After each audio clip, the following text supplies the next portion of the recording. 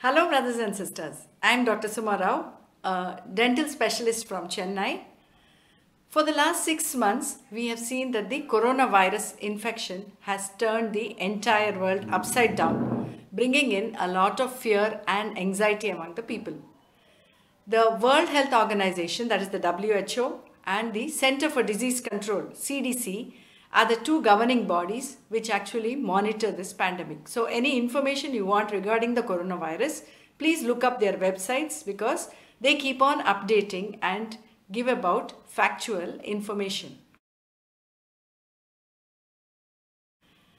Now, according to the WHO, there are three routes by which this coronavirus infection can spread from a person to person. Number one is when in direct contact with an infected person. Number two, a person who is infected, he may be showing symptoms or he may not show any symptoms. That is, he may be an asymptomatic carrier, but when he coughs, sneezes, or even talks, these droplets can get expelled out of his body and cause infection in another person who is standing close by. It is today even known that these droplets can land on certain inanimate objects like door handles or desktop and when the next person comes and touches it and then ends up touching his face, he may actually get the infection. In fact, a recent study showed that on an average, a person touches his face 23 times in an hour. Recently, the WHO has also concluded that the virus can get transmitted in an airborne manner. That is, the expelled droplets can remain in the air for a few hours, especially if the room is small or closed and cause infection to the people in the room. Now, all of us are aware that in order to prevent the coronavirus infection, we have to wear the mask, we have to wash our hands regularly and follow social distancing. Today's video is about the do's and don'ts which have to be followed when we use the mask. But let me start by making it very clear that just wearing a mask will not prevent the coronavirus infection. The WHO has issued certain guidelines for the use of mask.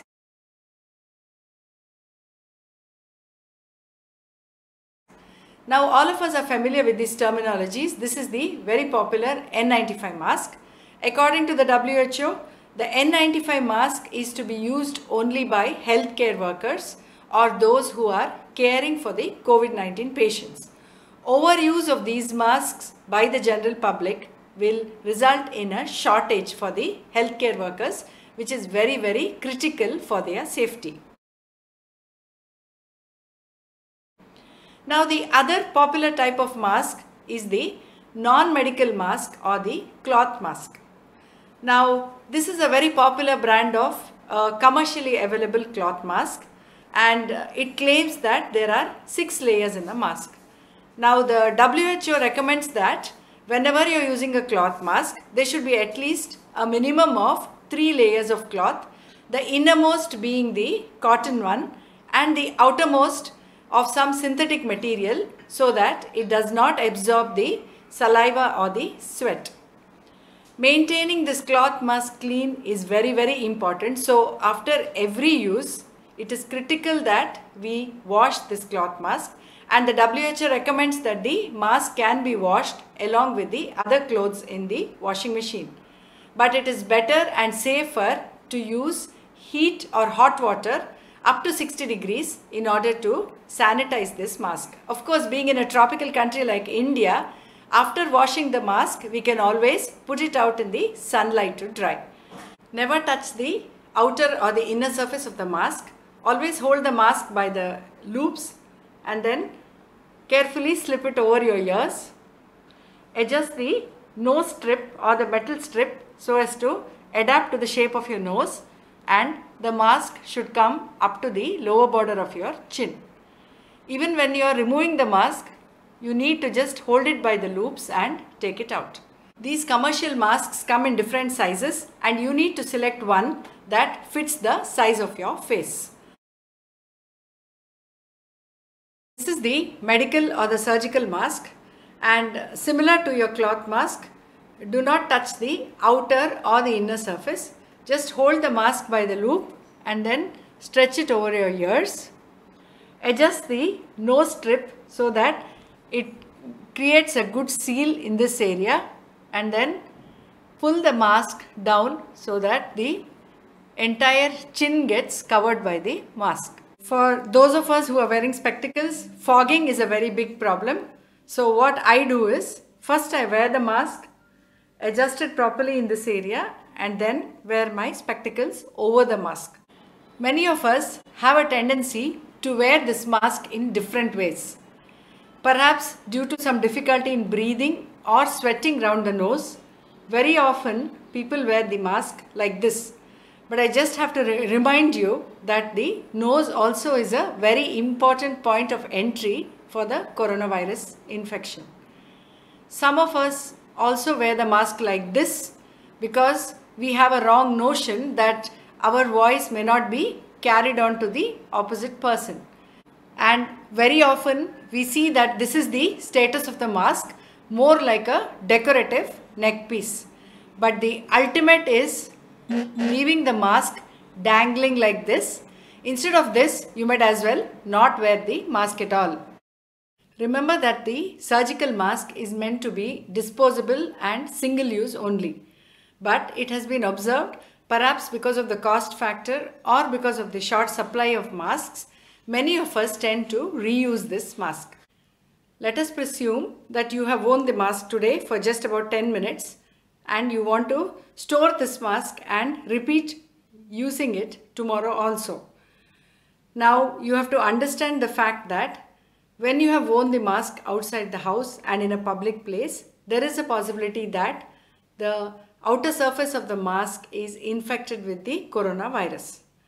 Imagine that the outer surface of the mask is very dirty and hence you should not touch it. So if you want to store the mask, you are supposed to fold the mask inside out and carefully place it in a paper bag and seal it.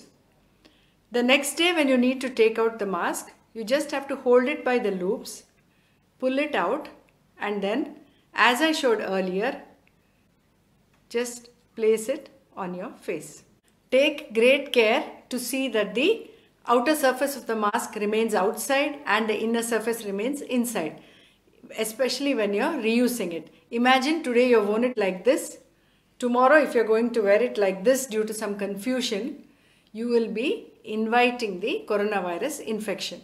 So in order to prevent that, what you can do is the first day when you're using the mask, you can put a small pen mark here on the outer surface so that you continue to wear it in the same way. Before reusing, always inspect whether the mask is soiled, damaged or damp. In such a case, please discard the mask. Otherwise, you will be wearing it with a false sense of security without actually getting the protection.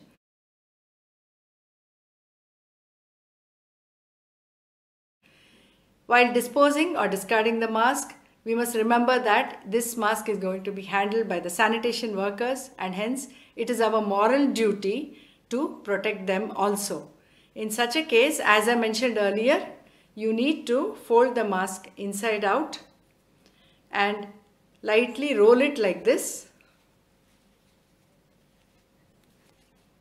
And you can even just secure it like this and then dispose it in a bin. So hope these tips were useful to you. So please wear the mask with great care, stay safe and stay healthy. Until I see you next time, signing off, this is Dr. Suma Rao. Thank you.